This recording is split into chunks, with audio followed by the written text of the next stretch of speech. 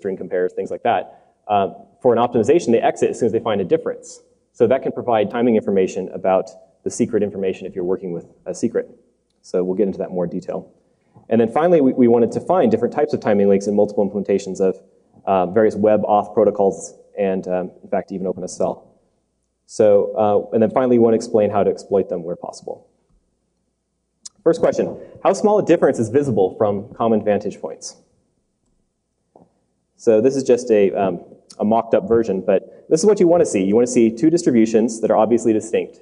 So let's say we're comparing uh, a password guess of A versus a password guess of B, and the correct answer is B.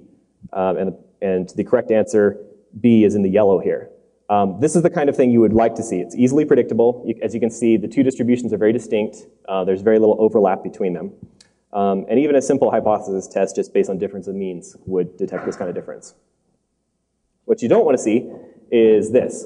Uh, your two distributions are basically identical with a small number of variations. Uh, if you were to try to do hypothesis testing based on this, you'd probably find a lot of false positives, where either you'd find differences where there are none, or false negatives, where you say the difference, there are differences there, but you're queuing on, or you're keying on too small a detail, and it's actually not a good estimator. In this case, what you can do is you can take more samples. When you take more samples, often if the distributions are different, they'll separate. Um, or it's possible that the difference is just too small to distinguish reliably. And for instance, you know, if you're attacking you know, picosecond level variations over the internet, not likely to succeed within a realistic amount of time. So people we, we talked to about these kinds of um, this kinds of attacks basically had a few objections up front. One of the first things people said is, you know, well, what about TCP and Nagle algorithm? Is that going to hurt your uh, timing attacks? And uh, we did some analysis of this and found that there's some simple things the client can do to avoid triggering this behavior. So basically, Nagle's algorithm works by avoiding sending small packets when you're doing lots of subsequent writes. So let's say I'm writing the message hello to the server. If I write H-E-L-L-O in five subsequent calls, um, basically a poor implementation would just send five one-byte packets, which is a lot of overhead for TCP/IP. Um, but what Nagle does is it says, let's delay a little bit after each small send. So if you're sending less than the window size, just wait a little while. If another send happens in, within that timer, then go ahead and combine the two sends so that that way you, you're reducing your overhead. Um, but if you send a large amount of data, then it will send it immediately. So this actually had no effect on our attack because in, in any particular configuration because the first packet of the response in Nagle is always sent immediately. So basically Nagle applies to subsequent messages. So we actually found that um, no matter what size packet the server was sending as a response, as soon as it generated the first write call, um, the, the, packet was sent. And uh, we do need to be careful, though, to make sure that there aren't any outstanding ACKs from the client side, just in case that would trigger some behavior there.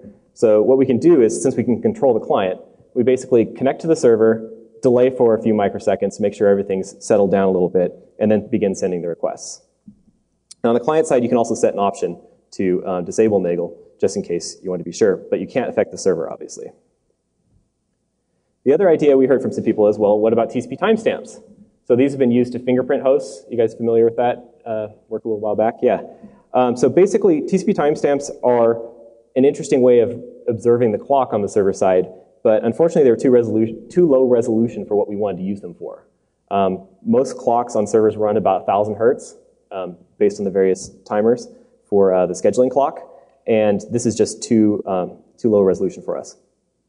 So one thing we thought of, though, possibly based on this was, what if the client could synchronize with the server's timestamp clock by just measuring it repeatedly, and then at some point basically say, okay, we know the server is going to generate a tick in the next 10 microseconds. So then send the request and check the response. If you get the old timestamp, then we got there before the tick happened, and the server responded before the tick happened. If it arrived after that point, then we'd see the next timestamp in the sequence. So this seems like it would be useful, but unfortunately it would only give probably, in our estimation, about a few microseconds of resolution, and we need to try to resolve things down into the nanosecond level. It's also very dependent on the time, the server's timer stability. If the server ticks at a slightly slower or faster rate, maybe based on load, or based on Linux tickless scheduling or other things like that, um, then this might not be a reliable method. But it's still worth, worth, more, worth some more looking into, and we haven't done that yet. Some other factors we looked into, uh, IRQ coalescing. So uh, if you have modern gigabit hardware or faster, uh, you usually have this feature enabled in your drivers. And what this does is basically, when your server is under heavy receive load, you don't want to be generating an interrupt for every packet you receive. That'll just overwhelm your server handling all these interrupts, and you won't get any useful work done. So instead of, instead of doing that, most drivers set up the Ethernet hardware to actually implement a state machine that says, if I haven't received another packet in a certain amount of time, then go ahead and generate interrupt. Otherwise, wait a few microseconds or hundreds of microseconds for another packet and then deliver it.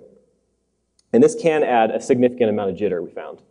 Um, basically, we, we disabled IRQ coalescing on our client, and we also tried with our server and without the server to see how this helped in some scenarios. And it did, this did help for some of the smaller timing variations, um, but didn't make much difference once you got to some of the larger values.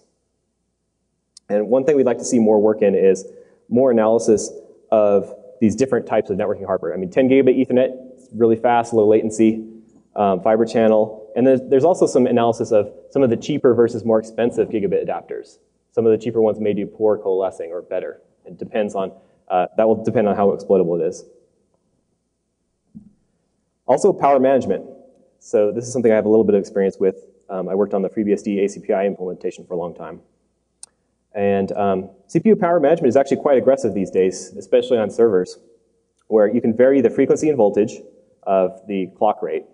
And then also there's these idle states, where basically you say, if the CPU is not doing anything, go ahead and put it to sleep for a while. And when an interrupt comes in, it'll wake up again and be in processing. And that's used for things like tickless scheduling. Has anyone heard that? Um, few people? Okay, great. Yeah, tickless scheduling is where instead of setting up your timer to tick 1,000 times a second and you're basically wasting power every time that ticks when there's not work to be done, you basically say, I need, I know I need to handle some work in the next 10 milliseconds. So you set the timer for some point in the future and you change the rate of the timer based on your load.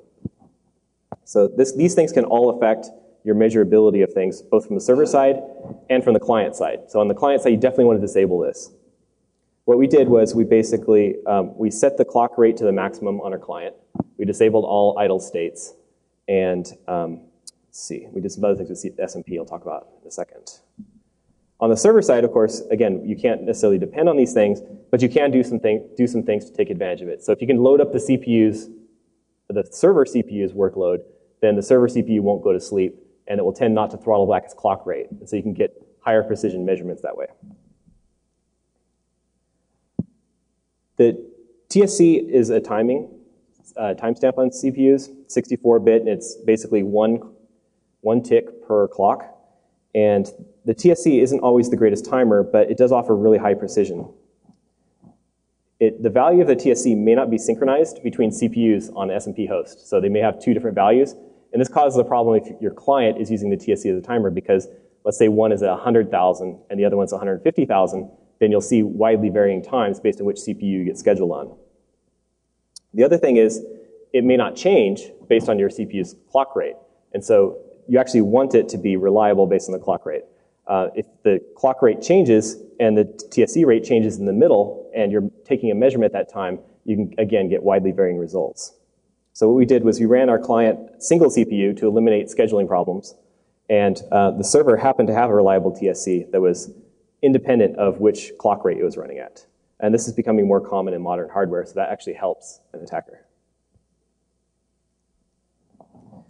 One idea we had that we haven't seen in previous timing attacks was, what can we do about the kernel and user mode scheduling on the client side? So what we thought of was, well, let's use libpcap and have it do the timestamping of the packets for us, since that happens in the kernel right after the packet's been delivered from the Ethernet driver, um, but before we've run the user mode process to receive it. And uh, so what we did was we took different measurements. One was just a, a, raw user mode TSC measurement, where we just sent a request and then measured the response from user mode around the send and receive calls. And also in kernel, in kernel mode, we changed the PCAP implementation on our client to use the TSC as the timestamp mechanism instead of the normal micro time. And uh, these are the two distributions we found. As you can see, there's additional latency in the user mode timestamp. Uh, however, when you subtract based on the mean difference, you see this. And so we think that this kernel modification, while it was useful to us, did not provide a significant reduction in jitter. And this is the good news for the attacker because it means you don't have to muck around the kernel too much. Uh, just standard user mode timestamping should be sufficient. We also found this was a useful modification because a lot of times we wanted to do some additional processing on the client side to decide if we're going to look at a packet or not, and having to timestamp too close to that uh, was a pain in the butt. So we basically um, relied on the kernel timestamps because the kernel will queue up the packets after they've been timestamped, and then we can just read them off at our leisure whenever we want to get around to processing them. So let's talk a little bit about noise model. The Rice paper talks a little bit about the channel noise model and estimating it, clock skew and things like that. Basically what the noise model is, every load or pair of servers and clients will have different kinds of noise added to them. Some will have large amounts of noise with high variance. Others might have a long delay but very small variance. For instance, previously the user and kernel mode switching was a long delay but added very little uh, jitter to our measurements. When you look at a model like this, or when you look at the measurements like this, that is the model helps you select a filter. So in this case, for instance, if you, if you look at this particular model, uh, it's a clearly a longer distribution with a second uh, mean to it. And if you take those samples there, you basically get what looks like a Gaussian. So when you look at the distribution, that suggests a filter. In this case, I would say, you know, knock off the upper 10 to 15% of these samples, and you'll get a better distribution to do hypothesis testing on.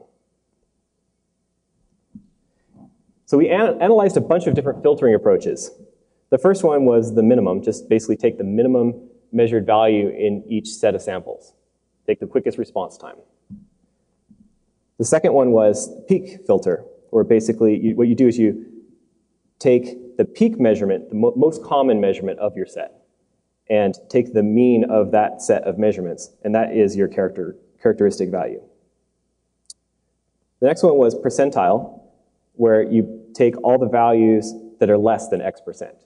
So take all the values that are in the fastest 25% of response times. And then finally, percentile range, which was take all the values between X percent and Y percent. From analyzing all these approaches, we thought that percentile range was actually the best approach what this would do is it would filter out some of the really fast but high amounts of jitter in the minimum response times, as well as knock off the high end where we saw significant jitter being added. For some of our, for some of our hosts, actually, the best percentiles were in the range of 2 to 25%, which we called low percentile ranges. But for some other hosts, we found that some of the middle percentiles were actually better. And that's different from what the Rice paper found they basically focused on the low percentile and low percentile ranges. But we found that for some of the really fast response times, some of the close vantage points like crossover cable uh, and LAN, that sometimes this was the better filter to do. So the important lesson from this is you need to not decide up front what your filter type is going to be and assume things about it, but instead measure the data and then try different ranges of filters and see what you get.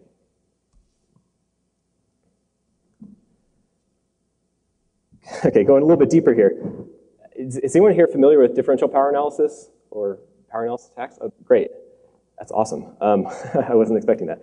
So uh, template power analysis is an optimization of differential power analysis, where what you do is, if you're trying to discover a secret key from a device by monitoring the power consumption, there's a number of routes you can go. One is to go in completely blind and just say, I'm going to just measure the power consumption at the highest rate I can across um, across the computation, and then try to look for varying bits in, based on the secret key. And that's what's called simple, simple power analysis. Differential power analysis says take a bunch of different sets of samples and average them together and compare individual candidates against that mean.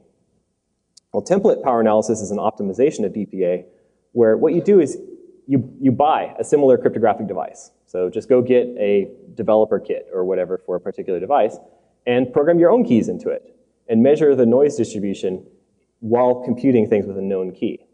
And then you, you, go get your device you're going to attack, which has a secret key, which you don't know. And you take that filter or that template that you developed against the known keys with the similar hardware and apply that to filtering the noise for attacking the unknown key. This is a very powerful attack. It can often extract the entire key in, in a single trace once you've developed a good template. And what template power analysis is focused on is you, you have a whole bunch of different filtering approaches. You have different filter parameters, and you just brute force through them, finding which ones fit best to the particular target.